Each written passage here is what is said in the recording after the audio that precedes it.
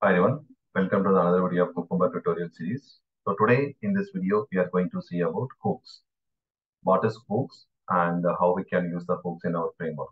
Okay. So hooks are nothing. It's a, just a block of code that can run at various point of uh, uh, in the Cucumber execution cycle. Okay. So we have a lot of uh, different hooks types also. Um, so they are typically used for the setup and the teardown. So it means uh, you want to do something before you start your execution. For example, uh, connecting to a database and reading the data, getting some API endpoint, reading Excel sheet or property files, right? So these kind of things and all, you can have it under before tag. Okay, so before the before I want to start my execution, so I have to have everything under the before tag. Okay, after execution, I want to take some screenshots or I want to generate some reports, right? Uh, I want to close my drivers. So that those things and all, you can have it as a part of your close method, which is a teardown. That will come under the part of after tag. Okay, so we have a lot of scenarios. I mean, we have a different types of hooks are available, and you can apply some conditional hooks also. So we'll see one by one. Okay, so you can declare the hooks in any class you want. Uh, so we have something. I mean, the first one is called scenario hooks. Okay, the scenario hooks. Uh, it it the scenario hooks will run for every scenario that you have it on the feature file. So for example, in our case, so we have one feature file. So one feature has almost three scenarios, right? So which means for every scenarios, uh, this before tag, right? So before tag, right? So this going to run. Okay. So here you can see scenario hooks run for every scenario. So wherever you use the before tag, and it is going to run for every first step of the each scenario. So for example, in our case, so when I execute this, so before it, I mean, it is coming here, right? So this is the first scenario. So before the first step get executed, our before hooks will be executed. Okay, so that is what it is meaning. Before hooks run before the first step of the each scenarios. Okay, so now in this case, uh, for example, if I have the before tag, right, before hooks, right, it is going to run for all the scenarios before they run the first step. Okay, so that is what it is meaning. So now, uh, and and it, it run before even your background also. Okay, that is what we have seen in the when we seeing about the background steps, right? So we can see before hooks. Okay, so in in which run uh, before each scenario, but after any hooks. Okay, that is what meaning. Okay, so you don't want to, I mean, uh, don't take it as it, it is going to run on the only this this scenario. I mean, this step.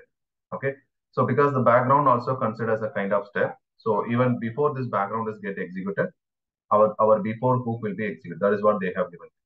So, but after any before hooks. Okay, so which means after hooks run, your background will get executed. Okay, we don't want to confuse. So this is also be considered as a step, correct? So for this scenario, I mean, this is a whole scenario, okay, including that background also. So when the file comes here, so automatically the before tag will execute, then your background step will execute, then it will come to the when then part, okay? So that is what it will do in the this tag, right? So before tag and after tag for it, it is going to work for every scenario. You can see that after hooks run after the last step of the each scenario. For example, here. So when this line is get executed, so your after method will be automatically called in the hooks. Okay. And this is how we have to define before at the rate before is a tag name that we have to provide. And you can write something like, for example, here we have something like the setup and the teardown. Okay. So now let's go to our scenario. So this is my uh, step definition page class, uh, class file. So I'm going to have the tag name as uh, before. I mean, you can have the separate hook file also. That is also fine. Okay, so let me create the different hook files. So what you can do, uh, you can go to uh, any any packages, or you can have one more new package also. So I'm going to have this hook file under the steps package. Okay, I'm going to create a new class by the name of hooks. Okay, you can create any name like app hooks or web hooks or API hooks or something like that. So here I'm going to create the first one before. Okay, so make sure that you are getting imported from the io.hook because this hooks no, it is coming from the hook. So we have this hook coming from JUnit also. If you have, um, I mean, JUnit dependency getting added to the pom.xml, so you'll be getting the JUnit also. But make sure you are just importing from the io.hook. Okay. So after this, I'm going to create one method. So public void uh, startup. Okay. So this is my method. Uh, I'm going to give some sysout here. So this is um, people. Oh. Okay. So similarly, I'm going to have my after hook also. So after. Okay. So this after also makes sure you're importing from the io dot. So public all here. Okay. So here also I'm going to have the sysout. Uh, this name is after hook. Okay. So now we have created this. So now I'm going to comment out the rest of the scenarios here. Or uh, let's run the everything together. Okay. Let's go here. Okay, we have overall tag here. So now I'm going to run this.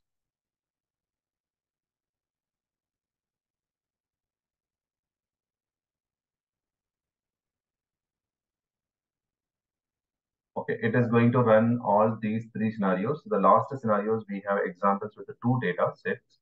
So that is going to run for two iterations. So totally four times. Okay. So we have to confirm that all the four times uh, this before and after hooks are getting printed in the console log. Okay, let's uh, wait for this execution to be completed. After that, we can check. Okay, so it is better to have the hooks file as a separated unit framework uh, because that helps. You don't want to give it to any any any any step definition class files. Okay, instead of having in the step definition, you can have it as a separate class file. Okay, it got executed. You can see. So now uh, it totally it got four scenarios because uh, the last one we have two iterations. Let's go to the console and confirm all the time this before hook is printed. Yeah. So the first one uh, before hook is printed. So after the execution, you can see after is also printed. And it is gone for the second one. Second one also before hook started and uh, followed by after is closed. And again before open and before after close and again before open and after close. So totally we have four iterations, right? All the four times it got executed. I mean, uh, the, before each scenarios and after the each scenario, this one also get executed. So this will be called for before each scenario. And this will be called, I mean, this block will be called after every scenario. Okay. So now this is a tag. Uh, so we have some other tags also. Okay. So when you scroll down on this the same page, you can see something around step hooks, right? So now we have applied the scenario level hooks. So this is called step hooks. So even in the step level also, if you want to do something for every steps, right? You can use this before step and after step. Okay. So the step hooks are involved before and after step. The hooks will be involved around, uh, meaning that before step hook is executed, the after hooks. Okay. So now, uh, if you want to use this, so for example, let's go here. Uh, I'm going to have the step before step, right? And again, this is also coming from io.cucumber. So I'm going to have this name. Okay, um, step people method. Okay. So in the sysout, I'm going to give this factory people step hook. And similarly, uh, I'm going to create the after step hook also. And this is also coming from the Cucumber.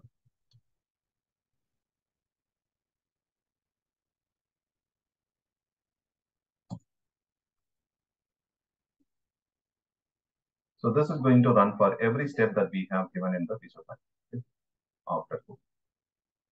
Okay. So now uh, I don't want to run everything. So I'm just going to comment out uh, these scenarios. I'm going to run for only one scenario because the only one scenario itself, we have three steps that is including our background. Okay. So now let's run this piece. So now before and after it has to print three times. Let's see.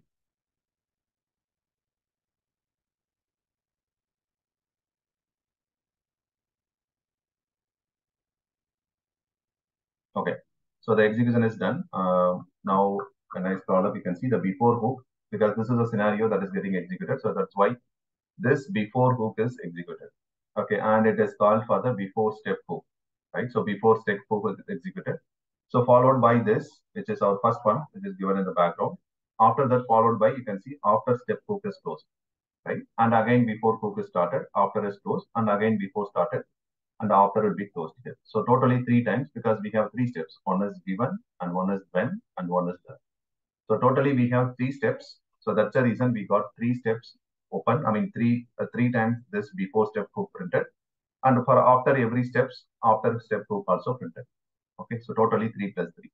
So this is going to run before each step in the feature file. I mean, scenarios, each steps. So this is going to run after each steps. Okay, so I mean, um, this is, for example, if you want to take some screenshot kind of stuff, you can use this before and after. Okay, otherwise, no, it is not required. In your case, if it is really required, if you, you want to do something for the every steps, then you can apply this. Okay, so then we have one more uh, hooks condition, uh, which is conditional hooks. Okay, so this condition hooks is like a, uh, you can apply along with the tags. So this hooks right can be conditionally selected for the particular execution of the scenarios. So for example, uh, we have different uh, scenarios. For example, uh, this has to be executed only for the smoke test. This has to be executed only for the sanity. Uh, in the in that case, now For example, if you have different environments like a QA uh, test environment or, or UAT uh, staging environment, right? So you want to get the QA environment data from one one database or particular API. In that case, what you can do, you know, you can define this QA. This is for only QA, and this is run only for the UAT, and this is for only the staging environment like that. Okay. So when you create this kind of before after hook, no, you have to provide your tag. Okay. So let's see here. I'm going to create okay so after so let's create this one before okay I'm going to put it here in the before at the rate. Uh, so what are the tags we have? Okay we have smoke so on the tag we have. Okay smoke. So and when I come to after so here also I'm going to put the tags. This is also only for smoke. Okay. So now, uh, if I run this, so wherever the, the scenario that have the name called smoke, only for those scenarios, this block will be called. I mean, our before and the after will be called. Okay, so now let's execute this. So make sure this one has a smoke tag. I'm going to run this now.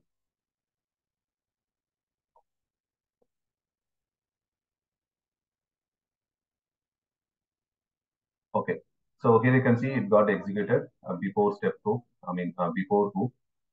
And here also it is coming as after hook. Okay, so now let me comment out these things. Otherwise it will be very confusing. Okay, so let's comment out this one. Now I want to uh, have this one as a sanity. So for example, um, let me change this one. Okay, I will delete this one. Okay, so now none of the tags I mean, I have commented out the rest of the scenarios. So we have only one scenario that is planning to execute. So which doesn't have the tag called smoke here. Okay, it has only tag is which is called as a sanity. Okay, the overall also we have tag called overall. So now if I run this, so we should not be seeing this before hook and uh, okay, I should be comment out. Okay, so now these two tags, right? So before this block and this block it should not run because we have a tag only for the smoke, correct? But that the particular feature file does not have the tag called smoke. So now let's run this.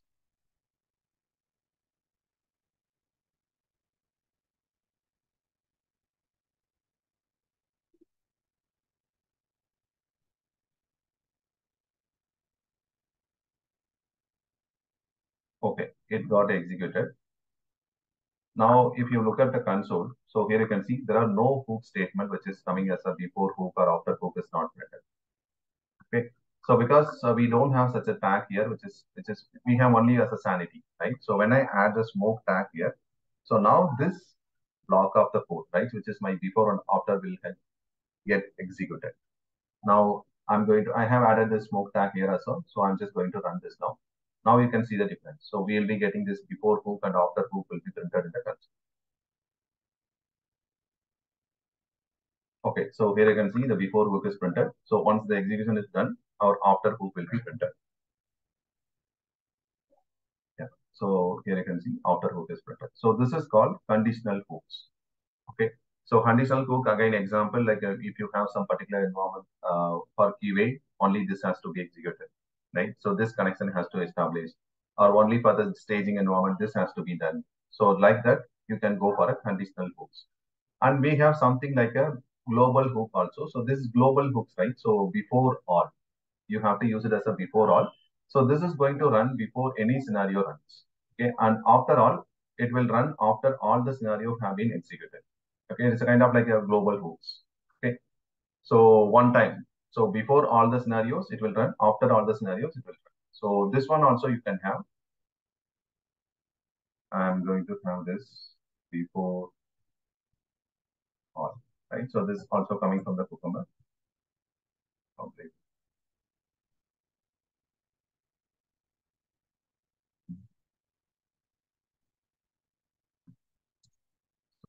Copy the same thing. Before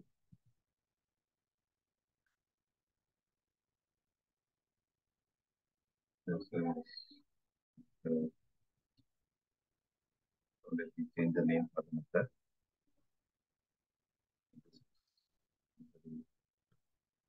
Okay. So this is going to run before any scenarios and this is after all the scenario has been executed. So this is also again, it's based on your condition where you want to put, I mean, uh, the global hooks on your, I mean, on your project, you can apply them. Okay. So now if I execute, so first time it is going to print the before all, then it will print the before. Okay, let me run this.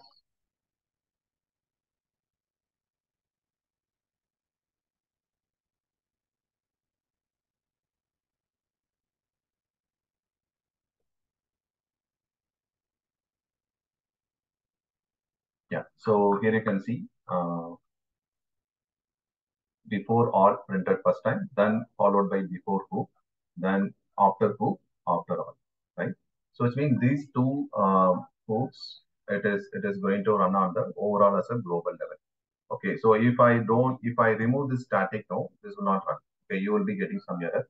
So make sure you are adding the static keyword in the before all and the after all. So that is what they also recommended here. You can see. So in the above methods, you don't see the static keyword, but here you can see something like a static keyword.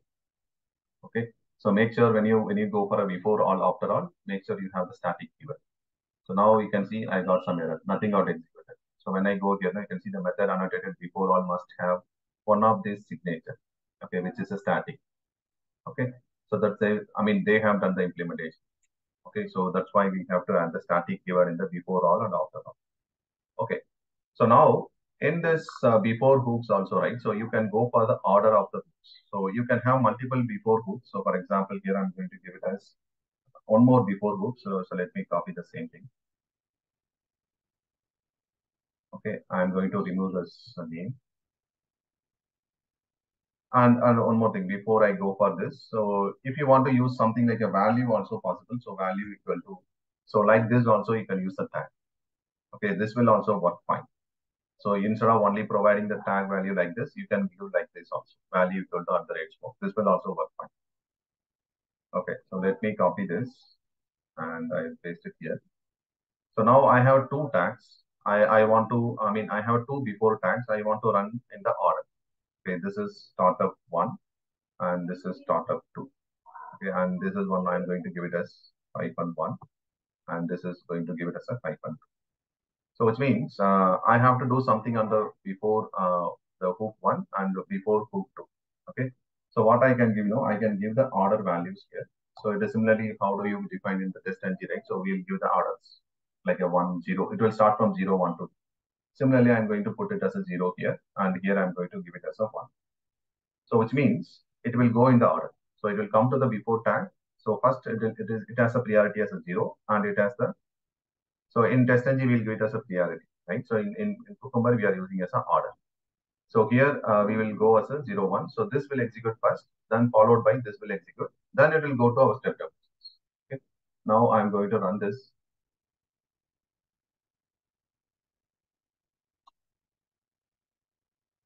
Yeah. So here you can see before all executed because we have before all tag also. So after that, followed by we have got executed this before one. After the before one, it followed by the before two. Okay, so here you can see.